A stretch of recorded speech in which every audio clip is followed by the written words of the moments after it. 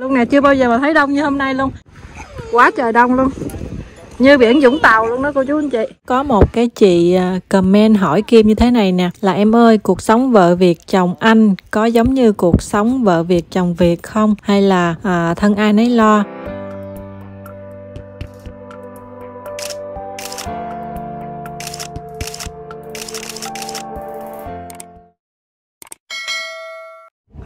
Xin chào ông bà cô chú hay chị xin chào cô chú.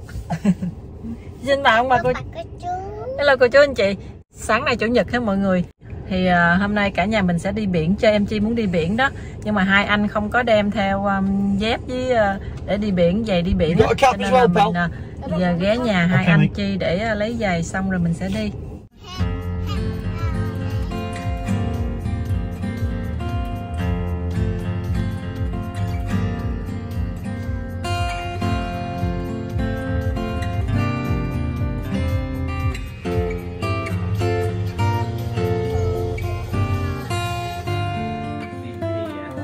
Hôm nay Kim và anh Tony sẽ ghé đây cắt tóc trước rồi à, mới đi biển hết mọi người. Cái à, lịch cắt tóc này là Tony đã hẹn cho Kim 2 tháng đó cô chú anh chị. Cái anh à, thợ cắt tóc này nè là bây giờ ảnh cắt ở nhà thôi và ảnh cắt cho đội bóng Liverpool đó mọi người. Ngày xưa là ảnh có cái tiệm Tony and Guy đó nhưng mà à, nhiều năm nay thì ảnh không còn làm nữa. Ảnh à, đi về ảnh làm tại nhà và ảnh cắt cho khách quen đó, ca sĩ người mẫu người nổi tiếng không đó mọi người. Rồi à, cắt cho đội bóng Liverpool. À, muốn mà anh cắt tóc phải đặt lịch trước mấy tháng mọi người. Bây giờ vừa cắt xong là cũng phải đặt trước cái lịch tiếp theo đó cô chú anh chị anh lấy sổ ra anh đặt lịch cho mình đó.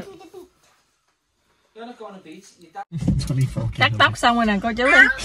Hai vợ chồng đã cắt tóc xong rồi. Bây giờ chuẩn bị sẽ dẫn uh, mấy đứa nhỏ đi biển. Let's go mình nắng quá trời nắng luôn. Chuyến này giờ đang thôi luôn đó mọi người.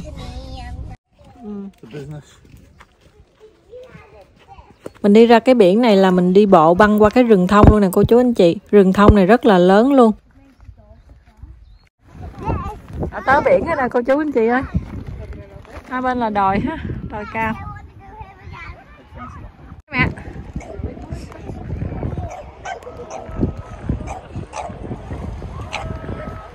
Chị ok?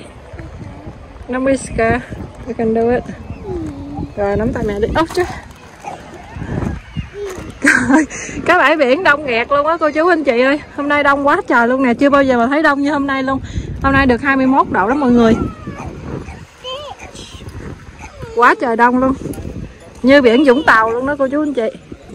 Cái biển ở đây thì không có phải là bãi biển du lịch hết mọi người.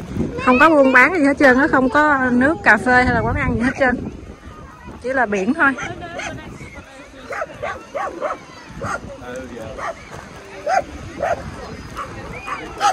Cô đây chó kìa đi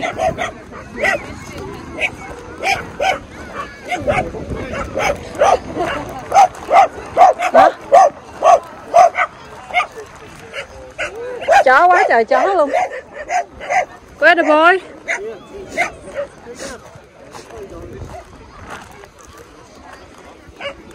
Chị ok, gọi chị đi ra ba kìa.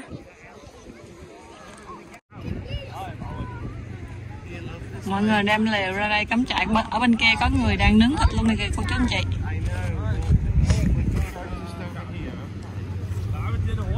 Em Chi đang chơi cát cô chú ơi. Em Chi không có chịu ra ngoài nước Tại vì thấy trời nắng như vậy Nhưng mà cái nước rất là lạnh hết mọi người? Chi ngồi đây chơi nè. Còn ba Chi? Để cho ba. Ba Chi đang nằm đây. Kim có đem đồ ăn theo nữa. Trái cây, nước uống. À, Với lại ờ, có sandwich trong kia nữa mọi người. Bánh mì sandwich á. Hai anh trai thì đang chơi trên kia rồi Trên đồi rồi. Kìa Đang đứng trên đồi kìa thì à, mấy hôm trước có một cái chị à, comment hỏi Kim như thế này nè. Là em ơi cuộc sống vợ Việt chồng anh có giống như cuộc sống vợ Việt chồng Việt không? Hay là à, thân ai nấy lo? Thì à, theo Kim nghĩ là ở Việt Nam mình hay có nghe cái câu là sống theo kiểu phương Tây đó là sòng phẳng á cô chú anh chị. Sòng phẳng thì giống như là thân ai nấy lo hoặc là đi ăn thì phải chia tiền share tiền share bill gì đó. Nhưng mà cũng đúng với một số ít thôi ha cô chú anh chị. Nhưng mà ở bên anh á, thì Kim thấy vợ chồng hay là bạn trai bạn gái mà sống với nhau á. Tại vì ở anh ờ, không phải là những cặp sống với nhau đều là một trăm phần trăm là đã cưới nhau là vợ chồng hết á mọi người. Cũng có một cái số nhiều là không có cưới mà sống với nhau giống như là bạn trai bạn gái nhưng mà họ cũng có con chung với nhau. Tại vì nhiều người không có muốn làm đám cưới đó cô chú anh chị. Vừa tốn kém mà kim không biết như thế nào nữa. À, nhiều cặp bạn của chồng kim á thì hỏi tại sao mà chưa có cưới trong khi mà cũng có hai ba đứa con đó. Thì người ta nói là người ta chưa có sẵn sàng. Thì kim ờ, kim không biết là người ta chưa có sẵn sàng về cái gì nữa ha mọi người? Là chưa sẵn sàng về tài chính hay là chưa có sẵn sàng về cái gì thì mình không có biết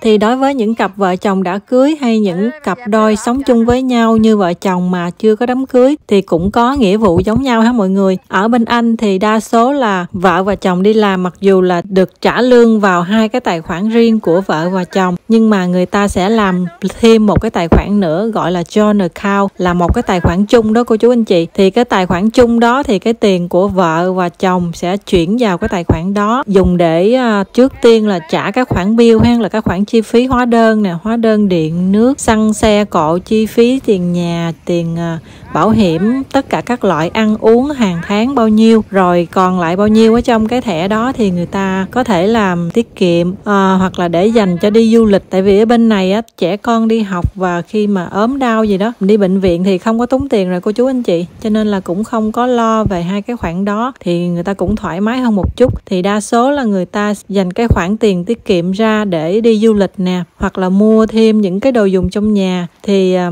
đó là về cái khoản tài chính như vậy ha mọi người? Chứ uh, không phải là thân ai nấy lo như mà uh, người việt mình hay nghĩ ha. Cái thông tin này thì kim cũng đã hỏi qua chồng kim rồi đó. Thì kim hỏi là khoảng bao nhiêu phần trăm người anh người ta làm cái joint account là cái tài khoản chung như vậy đó để hai vợ chồng cùng nhau uh, sử dụng đó. Thì chồng kim nói là ít nhất là cũng khoảng 70 phần trăm người anh người ta làm cái tài khoản chung như vậy. Đó là mình nói chung ha cô chú anh chị. Hay là như những người mà kim biết kim nhìn thấy á, giống như là gia đình kim hoặc là bạn bè của chồng kim hay là những người hàng xóm như đây cũng vậy ha. Thì à, người ta cũng sử dụng một cái tài khoản chung như vậy. Hay như mẹ chồng kim ngày xưa cũng ở nhà làm nội trợ thôi cô chú anh chị không có đi làm nhưng mà cũng là một cái tài khoản chung như vậy. Có nghĩa là thì à, ba mẹ cùng xài tiền chung và à, bây giờ kim cũng vậy nè. Kim chưa có làm ra tiền thì cũng là một cái tài khoản chung cho hai vợ chồng. Nhưng mà không phải mình có cái thẻ đó thì mình cầm đi mình muốn mua cái gì mình mua mình sắm cái gì mình sắm ha cô chú anh chị. Luôn luôn lúc nào cũng là đồng vợ đồng chồng. Thì à, mình muốn mua cái gì mình muốn sắm cái gì thì cũng bàn với nhau ha mọi người. À, chồng muốn mua cái gì thì cũng à, nói với vợ một tiếng cũng hỏi ý kiến với nhau. Thì kim cũng vậy đó. À, lúc nào cũng vậy cho dù sống ở anh sống ở việt nam hay là sống ở đâu cũng vậy thì vợ chồng phải tôn trọng nhau ha cô chú anh chị? Thì à, qua cái video này thì Kim cũng mong là chia sẻ đến cô chú anh chị hiểu hơn về cái à, vấn đề mà quản lý à, tài chính tiền bạc trong gia đình của người Anh như thế nào hết cô chú anh chị. Bây giờ 4 giờ rồi nhưng mà mấy bạn trẻ nó vẫn còn đi ra biển ha cô chú anh chị. Mấy bạn trẻ này là giờ này là sẽ đi ra biển ở tới 9 10 giờ đêm luôn đó mọi người. Đem um, bia bia đồ ăn gì đó nhạc đồ gì ra đó chơi rồi nhảy múa cả đêm luôn đó cô chú anh chị Xin cảm ơn cô chú anh chị và các bạn đã xem video. Xin hãy like và đăng ký kênh để ủng hộ mình nha. Và nhớ bấm chuông để đón xem những video tiếp theo. Xin cảm ơn và hẹn gặp lại. Bye bye.